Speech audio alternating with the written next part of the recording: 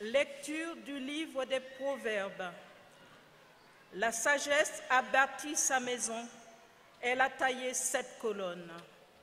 Elle a tué ses bêtes et préparé son vin, puis a dressé la table. Elle a envoyé ses servantes, elle appelle sur les hauteurs de la cité. Vous étourdis, passez par ici.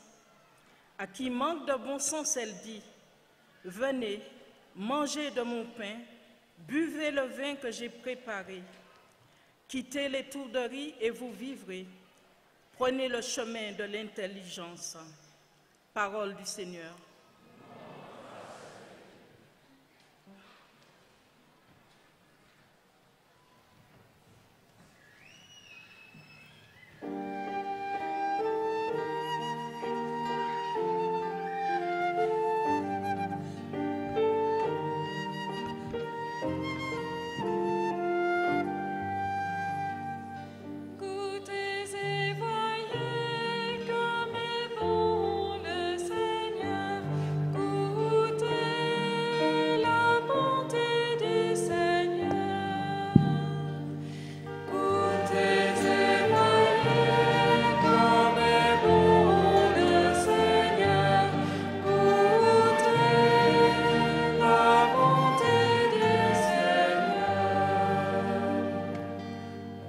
Je bénirai le Seigneur en tout temps, sa louange sans cesse à mes lèvres. Je me glorifierai dans le Seigneur, que les pauvres m'entendent et soient en fête.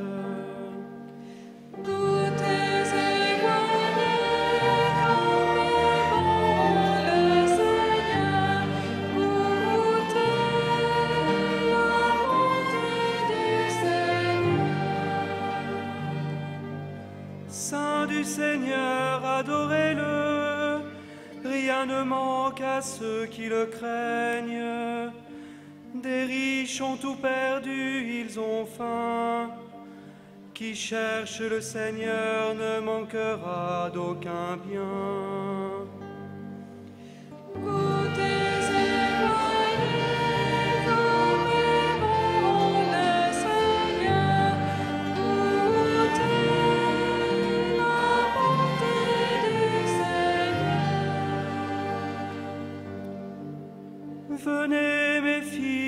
Écoutez-moi, que je vous enseigne la crainte du Seigneur. Qui donc aime la vie et désire les jours où il verra le bonheur.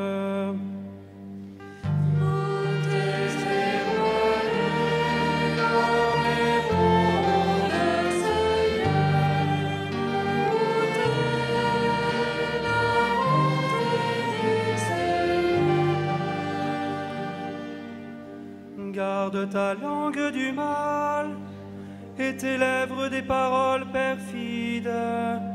Évite le mal, fais ce qui est bien. Poursuis la paix, recherche-la.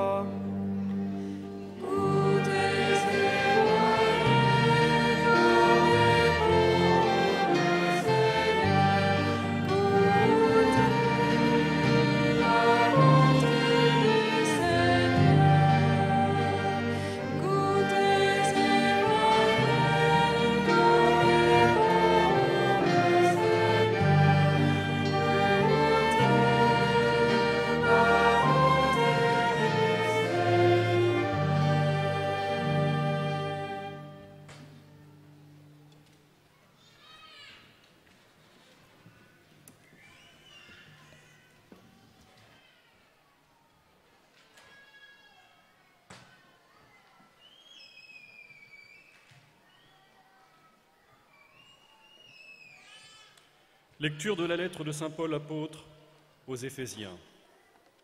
Frères, prenez bien garde à votre conduite. Ne vivez pas comme des fous, mais comme des sages. Tirez parti du temps présent, car nous traversons des jours mauvais. Ne soyez donc pas insensés, mais comprenez bien quelle est la volonté du Seigneur. Ne vous enivrez pas de vin, car il porte à l'inconduite. Soyez plutôt remplis de l'Esprit Saint. Dites entre vous des psaumes, des hymnes et des chants inspirés. Chantez le Seigneur et célébrez-le de tout votre cœur. À tout moment et pour toute chose, au nom de notre Seigneur Jésus-Christ, rendez grâce à Dieu le Père. Parole du Seigneur.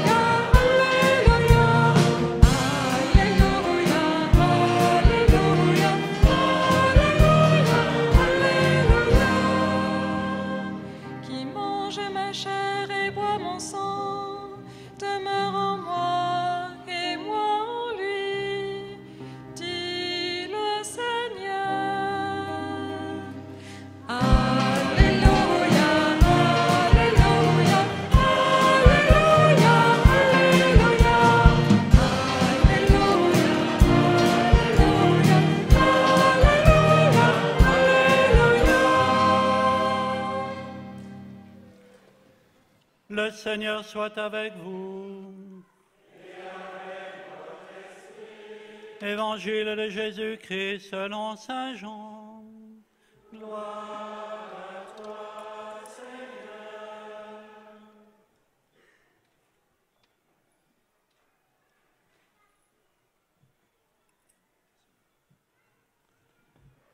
En ce temps-là, Jésus disait à la foule, Moi je suis le pain vivant qui est descendu du ciel. Si quelqu'un mange de ce pain, il vivra éternellement. Le pain que je donnerai, c'est ma chair, donnée pour la vie du monde. Les Juifs se querellaient entre eux. Comment celui-là peut-il nous donner sa chair à manger? Jésus leur dit alors, Amen, Amen, je vous le dis, si vous ne mangez pas la chair du Fils de l'homme, et si vous ne buvez pas son sang, vous n'avez pas la vie en vous. Celui qui mange ma chair et boit mon sang a la vie éternelle, et moi, je le ressusciterai au dernier jour. En effet, ma chair est la vraie nourriture, et mon sang est la vraie boisson. Celui qui mange ma chair et boit mon sang demeure en moi, et moi je demeure en lui.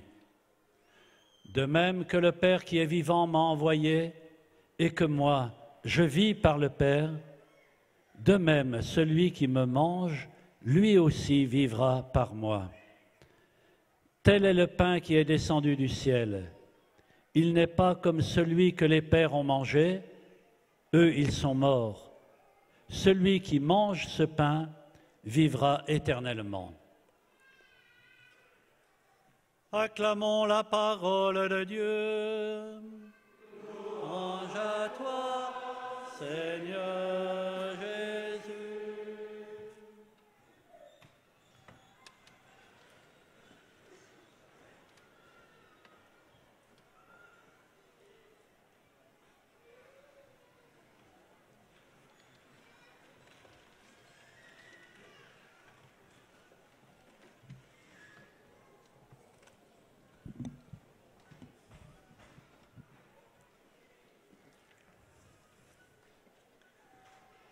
Frères et sœurs, nous avons commencé cette session en fêtant le 15 août avec la Vierge Marie, ce mystère de l'Assomption qui peut nous dépasser un peu.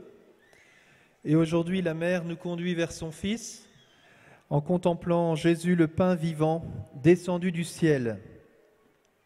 On peut dire que le mystère est encore insondable. On passe de mystère en mystère. Voilà, mais on rentre aujourd'hui dans cette contemplation du Christ, un peu comme euh, à l'île Bouchard, d'où vient cette statue de la Vierge que nous avons accueillie hier soir, où lorsque le Christ est présent et apparaît dans, est présenté dans l'adoration eucharistique, la Vierge qui apparaît aux enfants tout d'un coup disparaît pour laisser son Fils, pour laisser les enfants rentrer dans l'adoration véritable, à contempler Jésus présent dans l'Eucharistie. Et puis lorsque le prêtre a déposé le Saint-Sacrement, Marie réapparaît devant les enfants. Marie nous conduit vers Jésus et si cette icône met en valeur la Vierge, au cœur de la Vierge, il y a son Fils. Et donc aujourd'hui, nous sommes invités à nous laisser conduire par la Vierge jusqu'à Jésus. Pour ceux qui ont vécu les exercices de Saint Ignace, dans les colloques, nous sommes invités à prendre du temps avec la Vierge Marie, et puis petit à petit, Marie nous dit, bah, c'est bien, on a pris un bon temps ensemble, mais il faut que tu ailles voir le patron là. Il faut que tu ailles voir Jésus. Et prendre le temps de dialoguer avec Jésus, de prendre ce cœur à cœur. Et aujourd'hui, nous allons prendre ce temps aussi en contemplant un peu ce texte du pain de vie. Alors il y a une caractéristique, c'est que dans ce, long récit du pain de vie que nous, que nous aurons quatre semaines de suite, et si vous voulez écouter euh, l'homélie de la semaine dernière sur cet évangile, je vous la conseille. Voilà, vous la retrouverez sur Internet. Eh bien, aujourd'hui, nous rentrons dans un point où le Christ se révèle comme le pain vivant, et où les Juifs commencent à se quereller. Dans l'ancienne traduction, j'ai travaillé sur l'ancienne euh, traduction, donc ils discutent entre eux. Voilà. Et nous aussi, il peut nous arriver de discuter entre nous, voyez. On peut même être à la messe et passer son temps à discuter. ça peut arriver de temps en temps. Et on discute sur le comment. Comment Jésus peut-il nous donner ce pain à manger? Comment il peut donner sa chair à manger? Et voyez, ça bloque les Juifs les Juifs sont bloqués par cette question-là. Et nous-mêmes aussi, nous pouvons être bloqués par cette question.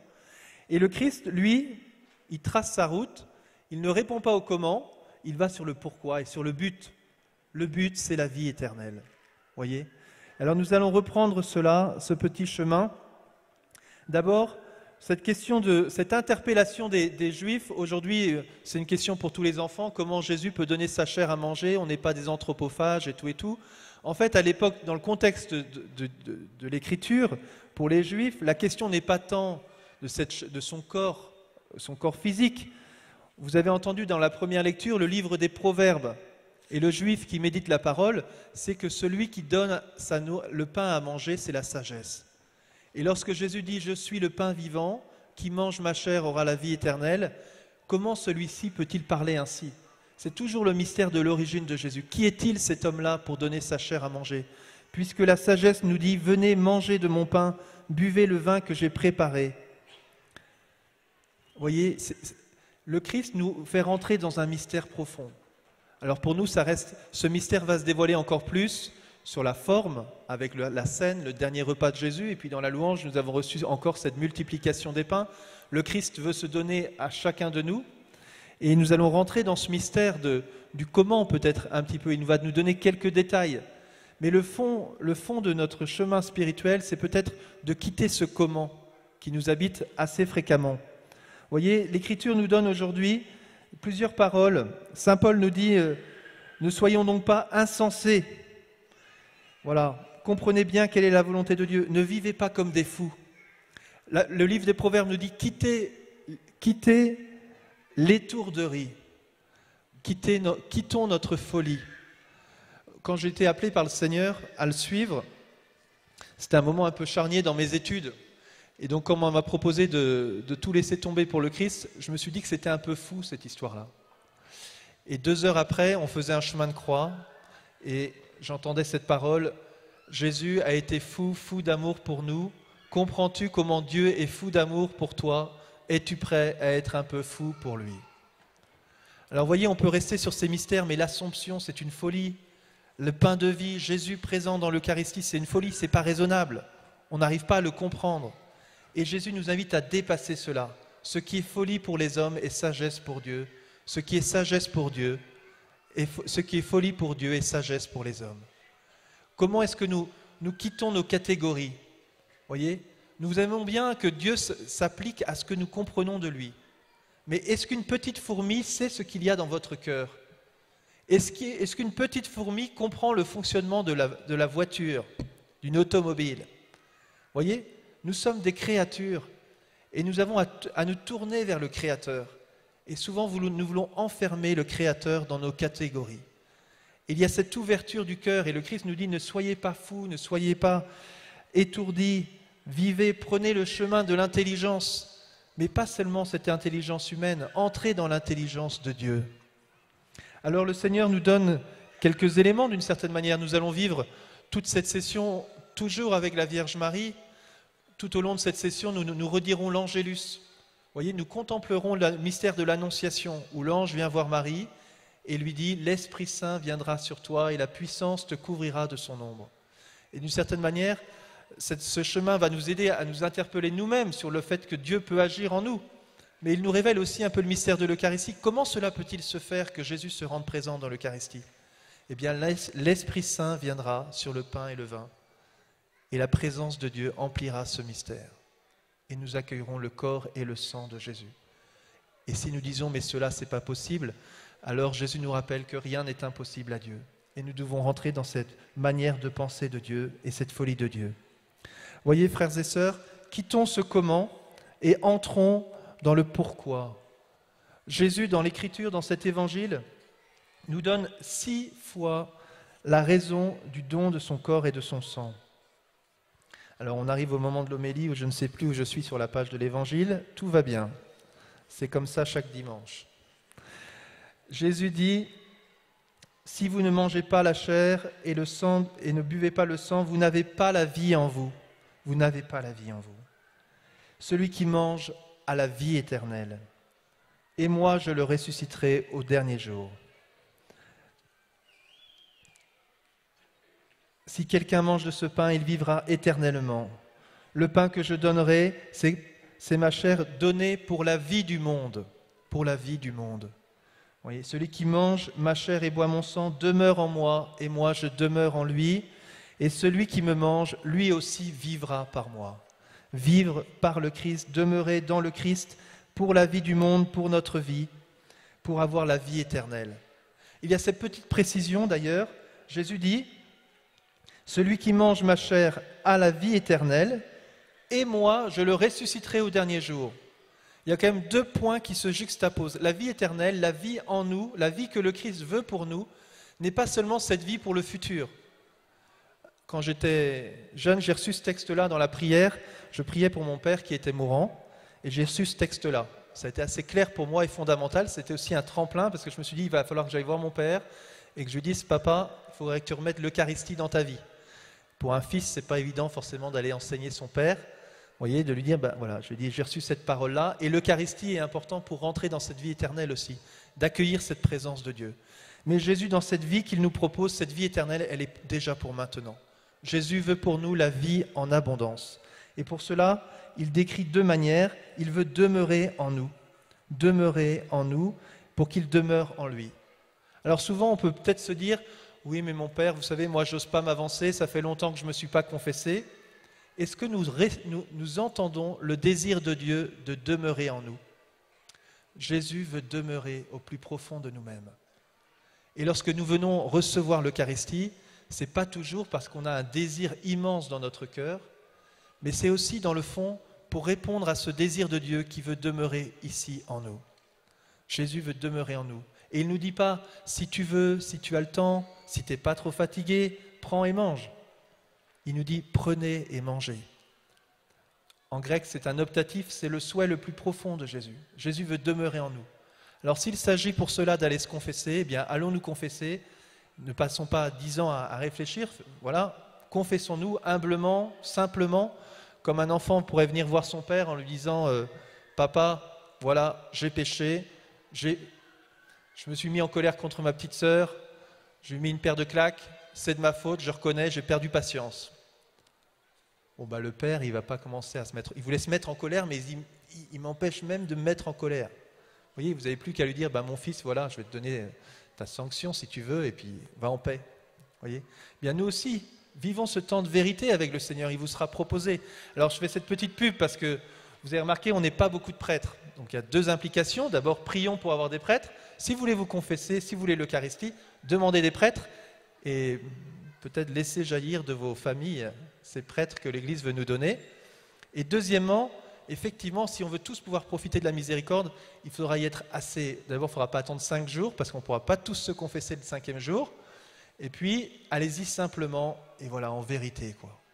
Prenons pas trop le temps d'expliquer les causes et les pourquoi, de justifier notre péché. Disons simplement, ben voilà, mon Père, c'est ça mon péché.